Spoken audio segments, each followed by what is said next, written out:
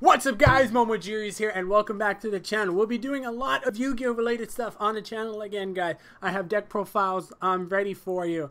I have pack discussions. We're going to be trying to get some Dawn of Majesty up in here. It's going to be great guys. And uh, eventually I will continue my From Scratch series so also stay tuned for that. Link to the previous episode will be up there somewhere. So we got new world premiere card for Dark Magician. And it's funny because people are talking about the tins, how we're supposed to be getting these cards, but then because the set is pushed back, more Dark Magician support is going to come out for the OCG. However, this isn't like a side set or anything. This is like a main set. Um, Order of Chaos is like they're set after Burst of Destiny. So I don't think we're going to be getting these cards yet in the tins. But I mean, only time will tell, really. So we should be getting this set um, I think February or January of next year. So, yeah. Since Burst of Destiny is going to be in October. So, let's get into this new support, guys. Okay, this is a field spell, Magician's Salvation, the first Dark Magician field spell. When this card activation resolves, you can set one Eternal Soul directly from your deck. Not bad. If you normal or special summon a Dark Magician or Dark Magician Girl, you can target one of those monsters, special summon from your graveyard one Dark Magician or Dark Magician Girl whose name is different from the targets. So, they're really trying to combine Dark Magician and Dark Magician Girl into a deck, which is pretty cool. Then we have Shattered to Darkness, a continuous spell. If you normal or special summon a non-token normal monster, draw one card. So basically, summon Dark Magician, draw a card. Um, when one of the following monsters your opponent declares an wait, when one of the following monsters you control declares an attack and battles an opponent's monster until the end of the turn, the monster attack the monster gains attack equal to the attack of your opponent's monster.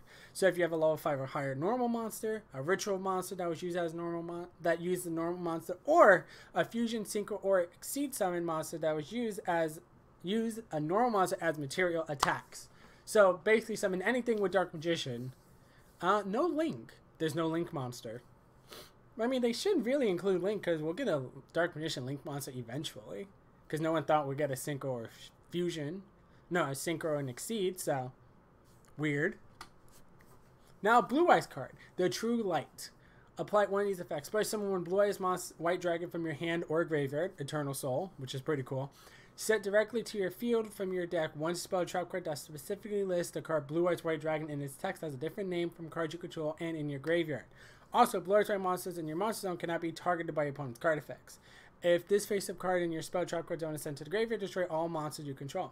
Basically an Eternal Soul for Blue Eyes, which isn't bad.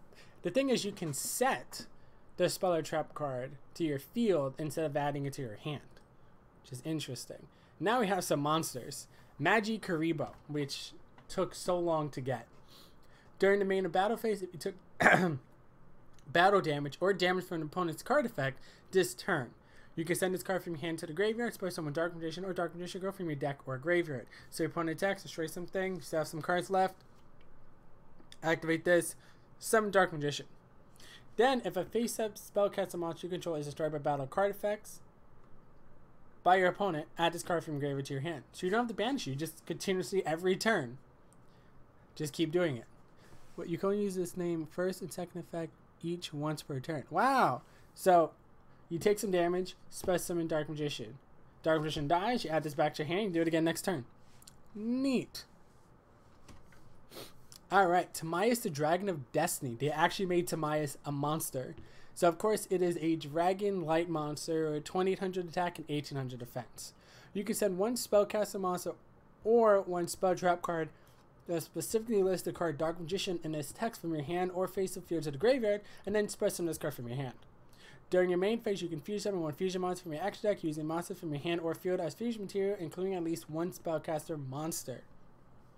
Not bad. I mean, do you really need to fuse summon more? But Itemized, man. Itemized. Then we have another ritual monster. Dark Magician has like five at this point.